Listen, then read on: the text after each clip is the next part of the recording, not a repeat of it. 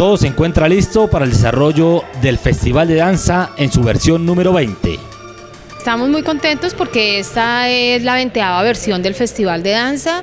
Estamos esta vez programados para trabajar del 27 al 30 de agosto. Como recordarán, eh, hasta hace cuatro años el festival contaba con solo dos días de, de desarrollo. Hoy ya contamos con cuatro días, dentro de los cuales no solamente se van a tener presentaciones en Tarima Central, en el parque, sino que tenemos cuatro puntos itinerantes en diferentes veredas de Chía. Adicionalmente contamos con el encuentro de entidades educativas, los colegios que tienen formación desde primaria hasta bachillerato y también tenemos encuentro de primera infancia, todos los jardines infantiles que trabajan de 0 a 5 años de edad. Entonces estamos muy contentos con esto eh, y esperamos que pues, las personas en la medida en que vayamos haciendo los llamados y la convocatoria y la publicidad ya formal, pues se vayan programando para asistir. Liliana García, organizadora del festival, nos habla de los grupos que asistirán a esta versión del festival. Contar con los grupos que siempre hemos hecho presencia en nuestro municipio.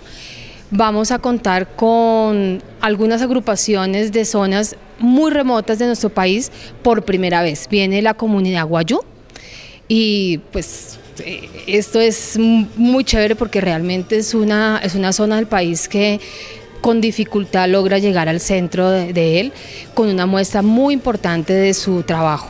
Viene Providencia, San Andrés y Providencia, entonces estamos muy de verdad muy contentos con ellos. Viene también un grupo de Armenia, de Quindío, viene un grupo de Cali por segunda vez, Cali hace presencia y eh, viene un grupo de los Llanos eh, y del Huila. Entonces estamos de verdad enriqueciendo este proceso que como comentábamos hasta hace muy poco solo se concentraba en las agrupaciones locales, hoy en día tenemos presencia normalmente de agrupaciones del departamento e incluso de fuera de él, del resto del país. Chía estará representado por tres agrupaciones de danza.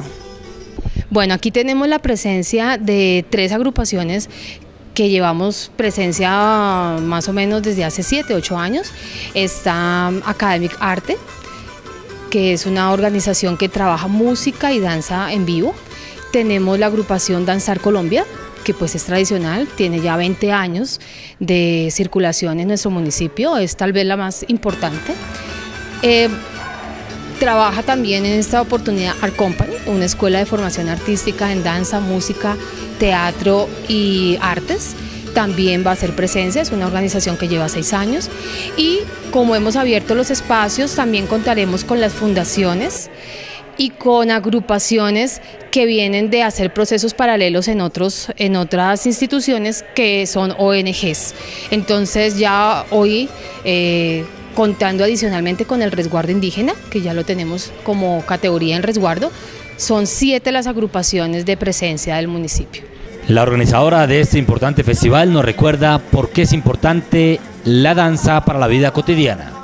Pues la danza no solamente es alegría y color, eh, digamos que en su puesta en escena, sino que nos ayuda a reconocer los procesos propios y los ajenos, los foráneos. Y esto hace que cada vez conozcamos más nuestras tradiciones y nuestras raíces.